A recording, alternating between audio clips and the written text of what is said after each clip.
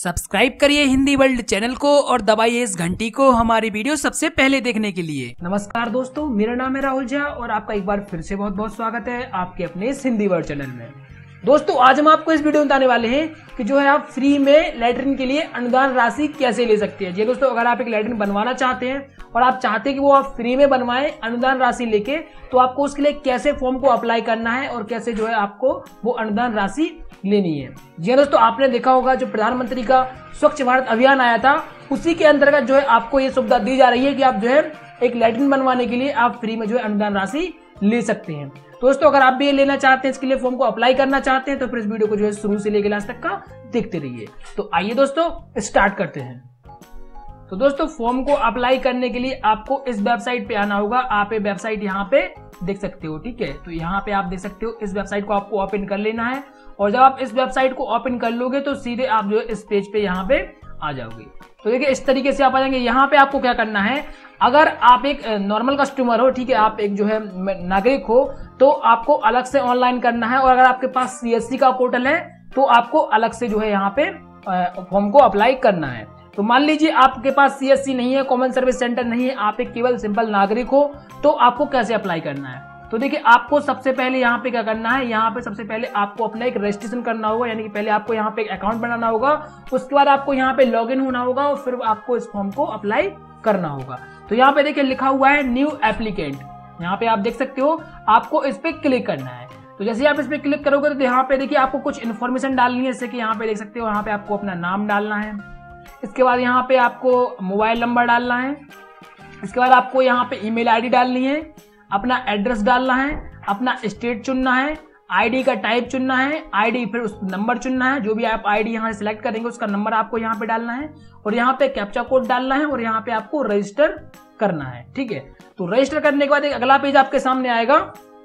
तो यहाँ पे अगले पेज में आपको बताया जाएगा कि आपका जो है सक्सेसफुली रजिस्ट्रेशन हो चुका है और आपके रजिस्टर्ड मोबाइल नंबर पे इसका जो है आईडी भेज दिया जाएगा और आपको उसका यूज़र नेम भी बता दिया जाएगा कि कैसे जो है आपको यहाँ पे लॉग इन करना है, ठीक है? तो यहाँ पे एप्लीकेंट को लॉग इन करना है, ठीक है? लॉग इन करने के बाद ही आपको फॉर्म को अप्लाई करना है। अब देखिए, अगर आप स्टेप बाय स्टेप उसे जानना चाहते हो तो यहाँ पे देखिए लिखा हुआ है, आवेदक उपयोगकर्ता मैनुअल नागरिक, ठीक है? यहाँ पे आपको क्लिक करना है और इस पे आप क्लिक करने के बाद ये देखिए, आपके सामने पूरा हिंदी में समझाया गया है, बहुत ही अच्छे तरीके से समझाया गया है कि किस तरीके से आपको यहाँ पे अपनी सारी इन्फॉर्मेशन भरनी है और किस तरीके से आपको इस फॉर्म को सबमिट करना है, ठीक है? तो यहाँ पे देखिए, इस तरीके से स्टेप बाय स्टेप आपको समझाया गया है पीडीएफ फॉर्म के माध्यम से। तो यहाँ पे आप इसे देख लीजिए और इसमें एक बार पढ़ के पूरा समझ लीजिए कैसे आपको अप्लाई करना है, ठीक है? तो यहाँ पे सबसे पहले एक बात मैं क्लियर कर दूँ कि ये जो अनुदान राशि आएगी, ये आपके नगर पालिका के क्षेत्र से आएगी, क्योंकि वहाँ पे वो चेक करेंगे वेरीफाई करेंगे, और तब वो वहाँ पे पूरा वेरीफाई कर लेते, तभी जो है आपके अकाउंट में पैसे आएँगे, ठीक है? तो आपके जो पैसे आते हैं, वो अकाउंट के अंतर्गत आते हैं और जो नगर पालिका म्यूनसिपलिटी के आदमी होते हैं, वो उनके अंडर में ये सब रहता है। तो यहाँ पे आप एक बार पूरा पढ़ लीजिए और समझ लीजिए कि कैसे जो है आपको यहाँ पे अप्लाई करना है। चलिए हम दूसरे स्टेप पे बात करते हैं सीएससी के बारे में। अगर आपके पास सीएससी है तो आपको कैसे अप्लाई करना है? तो सीएससी यूज़र को यहाँ पे देखिए लिखा हुआ है, आवेदक उपयोगकर्ता मैनुअल सीएससी ठीक है? तो यहाँ पे क्लिक करके जब आप क्लिक करोगे तो आपके सामने एक फॉर्म आएगा, जो है पीडीएफ फ़ाइल आएगी। यहाँ पे आपको पूरा हिंदी में समझाया गया है कि आपको कैसे अप्लाई करना है। ठीक है?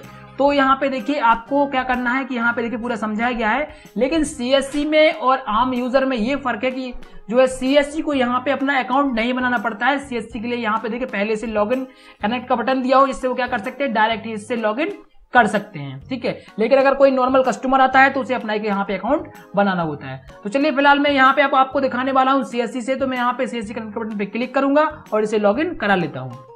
तो लॉग इन होने के बाद ये देखिए, इस तरीके से पेज आएगा, जो सी एस यूज़र है उसके सामने। अब आपको क्या करना है? यहाँ पे उस कस्टमर का रजिस्ट्रेशन करना है, जिसके लिए ये जो कस्टमर आपके पास आया है और वो इसके लिए फॉर्म अप्लाई करना चाहता है। तो यहाँ पे आपको क्या करना है? उसका आवेदन यहाँ पे करना है। तो देखिए, अगर आप फॉर्म को इंग्लिश में भरना चाहते हैं तो यहाँ पे इंग्लिश रहने दीजिए। अगर हिंदी में भरना चाहते हैं तो यहाँ पे लैंग्वेज को हिंदी सिलेक्ट कर लीजिए, ठीक है?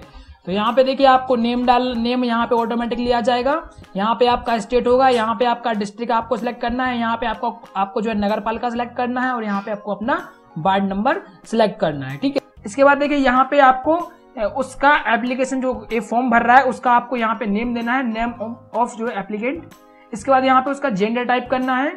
यहाँ पे उसके जो है फादर्स का या फिर हस्बैंड का नाम यहाँ पे आपको डालना है। अगर महिला है तो हस्बैंड का नाम डालेंगे। अगर मेल है तो उसके जो है फादर का नाम यहाँ पे डालेंगे। इसके बाद देखिए मोबाइल नंबर आपको देना है और यहाँ पे एड्रेस देना है। एड्रेस के बाद यहाँ पे देखिए, एक बात का आपको ध्यान रखना है इसमें बेहद कि जिस पर स्टार मार्क का साइन लगा हुआ है, ये आपको फिल करने ही करने हैं। अगर ये जो है फिल नहीं करेंगे तो आप फॉर्म को नहीं भर पाएँगे। इसके बाद देखिए, आपको यहाँ पे जो है टॉयलेट का, यानी कि लेटरिन का यहाँ पे स्टेटस डालना है कि वो बन चुका है या फिर अभी नहीं बना है, ठीक है? तो यहाँ पे आपको वो चुनना है। इसके बाद देखिए, आपको यहाँ पे जो है आधार लिंकेड ट्रांसफ़र यहाँ पे आपको वो देना है, यहाँ पे यहाँ पे देखिए ये जो सर्विस है ये सेवन नंबर का जो ऑप्शन है ये देखिए यहाँ पे डीएक्टिवेट है तो इसे आपको कुछ नहीं करना है इसे छोड़ देना है क्योंकि ये अभी काम नहीं कर रहा है इसके बाद देखिए यहाँ पे आपको आधार नंबर है तो डाल दीजिए क्योंकि यहाँ पे स्टार मार्क नहीं है ठीक है तो ये आप यहाँ पे अपने हिसाब से देख लीजिए उसके बाद देखिए आपको यहाँ पे बैंक का इन्फॉर्मेशन नीचे देना है ठीक है तो यहाँ पे बैंक का इन्फॉर्मेशन आप दे दीजिए तो यहाँ पे देखिए एक ऑप्शन और मिल जाएगा यहाँ पे आपको कि आप जो है नगर पालिका का जो ग्रुप है उस पर अगर हिस्सा लेना चाहते हैं तो यहाँ पे देखिए आपको इस पर कुछ नहीं करना है यहाँ पे नो रहने दीजिए और यहाँ पे शायद एक और ऑप्शन था, यहाँ पे यूएलबी नेम का तो यूएलबी नेम आपकी नगर पालिका का नाम है तो आपको वहाँ पे नगर पालिका का नाम सिलेक्ट कर लेना है, ठीक है? तो अगर आपको समझ में नहीं आ रहा है तो आप वो नगर पालिका है, उसे आप देख लीजिए। उसके बाद देखिए, यहाँ पे आपको क्या करना है, यहाँ पे आपको आईएफएससी कोड आप सिलेक्ट कर लेंगे, यहाँ पे सर्च कर लेंगे कस्टमर का यहाँ पे अकाउंट नंबर आपको डालना है, ठीक है? यहाँ पे अकाउंट नंबर डालना है, यहाँ पे कंफर्म अकाउंट नंबर यानी कि किसी को दोबारा टाइप करना है।